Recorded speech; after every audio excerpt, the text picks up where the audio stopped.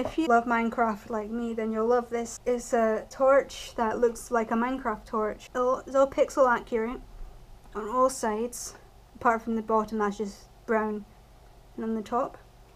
And it's got a sort of hidden button here. If you press, the top lights up. And I'll insert a clip of it in the dark so you can see how well it works. It sits flat like that, or if you flip this bit down, you can have it on a wall. You just need to have a nail in the wall and hang it up here. The only thing is if you do that then the button will be on the wall side. So you'll need to put your finger around like that to switch it on. But it's not a real trouble. I just have it like this though because even though I've got a proper good torch under my desk it's really dark or at night. I use this a lot to find things that I've dropped or look under my desk because I've got storage under my desk. And I use this a lot it takes three AAA batteries in that little compartment on the bottom.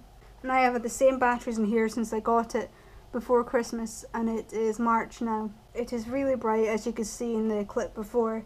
If you love Minecraft then this is a great buy and I absolutely love it.